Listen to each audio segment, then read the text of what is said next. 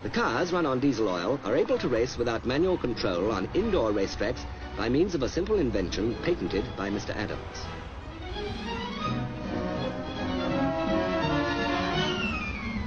Even the tires of the model cars are homemade in special molds. And altogether, the tiny models are perfect replicas of various Formula 3 cars built to a scale of 1 16th.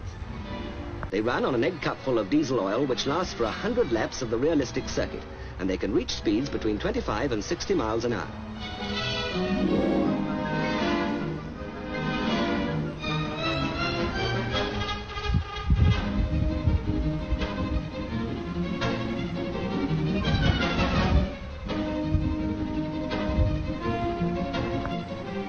Tiny model drivers complete the real-looking effect, and a variety of different makes of racing car adds the Grand Prix touch. Since Walt Disney ordered some of the models for his Disney car park in California, requests for models have poured in from every state in America. Orders, too, have come from many European countries and from Africa, so that what started out as a hobby has developed into a big business concern with great dollar-earning possibilities.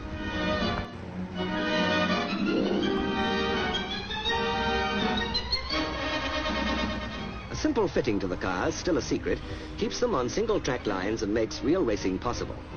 Miniature gears and a centrifugal clutch, all homemade, make the models masterpieces of craftsmanship in their own right.